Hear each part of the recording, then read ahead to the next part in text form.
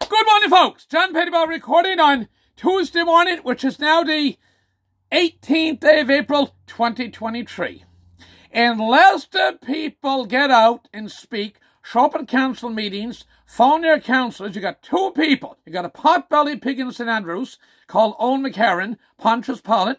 You got that Laurie Boucher, the snot, Mayor of Antigonish for time being. Those two will decide for 20,000 residents between the Antigonish County and town. You got Antigonish, you got Willie Cormier, the deputy mayor, you got uh, Andrew Murray, and you got Mary Farrell. She's there worshipping, worshipping at the feet of Laurie. Oh, worshipping at that dear God, Laurie. You get Andrew Murray, somebody tells him something, he'll go outside and have a cigarette and plant some flowers or something. And you got Willie Cormier as I can't repeat what people say in his name. Okay, but he, he's there. He's in he's there peas in the pod. Okay? Vote with the mayor.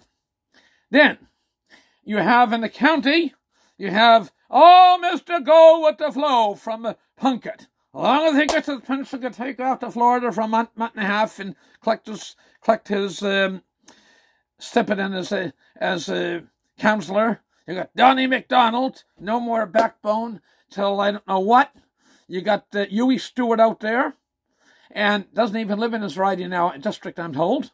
And you have uh, Bill McFarlane. Bill McFarlane fancies himself as whatever wannabe townie. Okay, you think you got those two of them, and they're talking about a recreation. Mayor yesterday's talking about recreation. Said, Mother of God, we have a beautiful uh, place in the Harbour Boucher uh, Community Centre.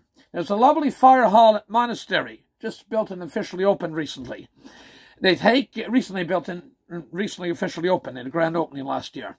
They have a lovely community centre. People work very hard in Heatherton for as well. There's one or two a curling club and another centre in uh, St Andrews, the fine people of St Andrews. Uh, you have a, a multi-million dollar uh, community centre complex opening up in in uh. You have uh, Charlie Keating, I knew, gave $5 million to Millennium Centre in Antigonish cost, I think, 20, 25 million to build. There's more money been put in it. There's a big arena. There's, I mean, how many, how many mega recreation, you get the town of Antigonish, let's face it, about approximately 4,300 people, and about half those are senior citizens.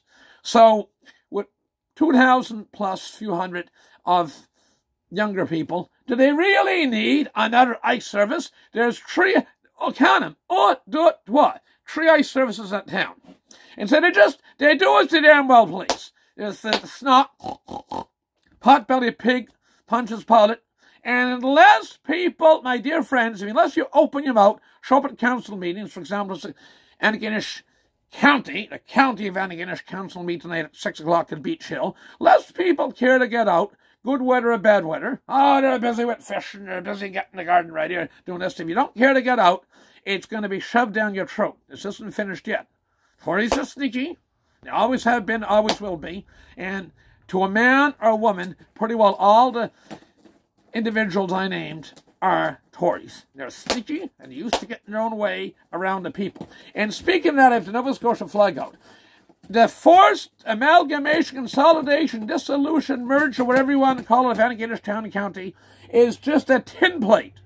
Next time it'll be Guysborough, Municipality District Guysborough, forced to take the hand of Mulgrave. Uh, that Port Hawkesbury would dearly love to have Point Tupper. Stripped industrial uh, tax revenues out of Point Tupper to reduce the sky-high taxes in the town of Hawkesbury. Uh, merge the town of Hawkesbury and Inverness to make the good people of Inverness County pay more for the property tax rates to dilute the high tax rates in uh, Port Hawkesbury. It could be Barrington, Clark's Harbour down in Shelburne, Yarmouth County. It could be Annapolis, Royal Annapolis County. This is just a start. This is not just an Antigonish town and county thing. Uh, with that, I gotta go. Stand up and be heard, I implore you. Yesterday in the United States was Patriots' Day. This morning is the 246th um, anniversary of the Patriots marching from Concord to Lexington. They stood up and were heard. Okay, so stand up and be heard, my dear friends, and get a good breakfast yourself. I have the oatmeal bottle here, and I'm, I'm going to eat my oatmeal shortly. Thank you very much. All the best. God bless. Bye for now.